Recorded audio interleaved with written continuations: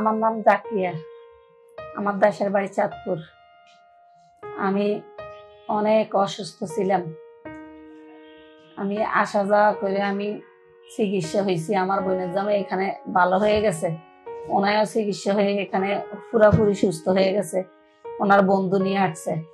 এরপরে আমার, আমারে পাঠাইছে। আমার এই অবস্থা দেখে আমি কথায় আর ডাক্তার দেখাই না। এখানে আসছি, আইসা দুইবার, তিনবার আমি ওষুধ নিয়ে নিয়ে গেছি। পরে বলছে, স্যারের সমস্যা মানে ভালো করে হয় ইয়ে হয় না। তো ইহার পরে স্যারে বলছে, ভর্তি ভর্তি হইয়া আমি ছিলাম, এখন পুরাপুরি সুস্থ হয়ে গেছি এখান থেকে। এখন আল্লাহ রহমতে ভালো আছি। এখন আবার এক মাস পরে ডাক্তার দেখাইতে আসছি। তিন চার বছর বুঝি ভুগছি, কিন্তু ডাক্তার কথায় দেখাই না। কিচ্ছুই করি না। পরে ওষুধ খাইছি, এমবি একটু ওষুধ টষুধ খাইছি।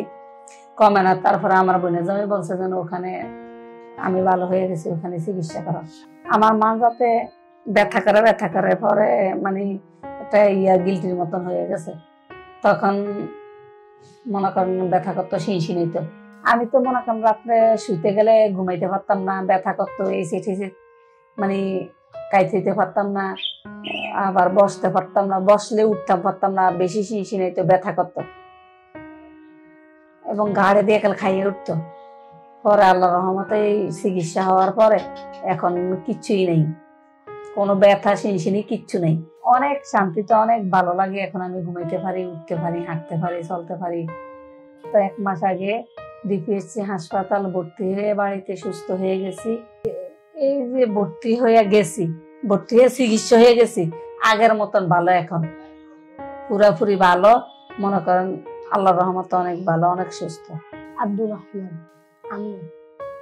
ব্যথা করে, তারপরে হাঁটতে পারতো না, কাজ করতে পারতো মা খুব কান্না করতো। আমার কাছে অনেক খারাপ লাগতো। মাকে দেখে আমিও কান্না করতাম। মা যখন কান্না করতো তখন আমার কাছে অনেক খারাপ লাগতো। আমার মন বলছিল যখন, আমার যখন শক্তি থাকতো, আমার মাকে আমি সুস্থ করে রাখতাম। মা সারা রাত জেগে থাকতো কষ্টের জন্য। মার এরকম দেখে আমার খেলতে ভালো লাগতো না, পড়াশোনা করতে ভালো লাগতো না, কোনো কিছু করতে ভালো লাগতো না আমার কাছে। গত এক মাসে মাকে সুস্থ দেখে আমার আমার কাছে খুব ভালো লাগছে। মা যখন নিজে ব্যথার জন্য কান- কান্না করে না, ওই সময় আমার অনেক ভালো লাগে। আমার মনে হচ্ছে আমি আমার মাকে আবার নতুন করে ফিরে পেয়েছি। আমি দোয়া করি স্যারের জন্য। স্যার আমার মাকে সুস্থ করে দিয়েছে। আলহামদুলিল্লাহ। আমার কাছে আমার এই জীবনটা এখন অনেক ভালো লাগতেছে। কারণ আমি বেডি বলতাম, আমার একটা মেয়ে নাই, আমি এরকম অসুস্থ, আমি কীভাবে ভালো হব? কোন জায়গায় গেলে আমি ভালো হব? এটাই আমার সারাক্ষণ ধারণা করতাম। আজকে এক মাস পরে আবার আমি স্যারের সাথে দেখা করতে এসেছি। স্যারকে আইসা বলছি যে, স্যার, আমি অনেক ভালো আল্লাহ রহমতে আনন্দ লাগে খুব। আমি বলছি স্যারের স্যারকে, স্যার, আপনারা আমার মনের থেকে অনেক দোয়া করি।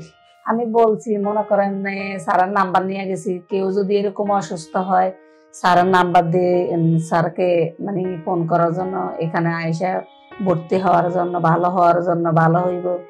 এই আর কি। এরপরে মনে করেন এখানেও যে রুগীরা আসছে নতুন ওই রুগীরা আমার কাছে জিজ্ঞেস করছে যে আপনি ভর্তি হয়েছিলেন? কি অবস্থা? এখন কেমন? আমি কেছি হ্যাঁ আমি ভর্তি হয়ে অনেক পুরা সুস্থ হয়ে গেছি ভালো হয়ে গেছি। এখানে মনে করেন যে অসুস্থ বেশি, ওনাকে বলবেন যে সুস্থ হয়ে যাইতে পারব, ভালো হয়ে যাইতে পারব এখান থেকে।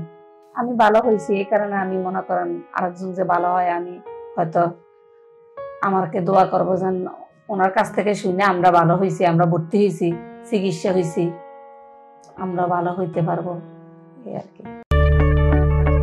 আমরা জানি আপনার প্রিয়জন আপনার জন্য কতটা গুরুত্ব বহন করে। প্রপার ডায়াগনোসিস কনসালটেশন পেইন ও প্যারালাইসিস চিকিৎসা পুনর্বাসন আমাদের সব আয়োজনই সব সময় আপনাদের জন্য চব্বিশ ঘণ্টা খোলা। আমরা চাই না আপনারা বারবার আমাদের কাছে ফিরে আসুন তবুও আমরা আছি সব সময় সর্বদা আপনাদের পাশেই। ডিপিআরসি হসপিটাল লিমিটেড আস্থা বিশ্বাস ও নির্ভরতায় অবিচল।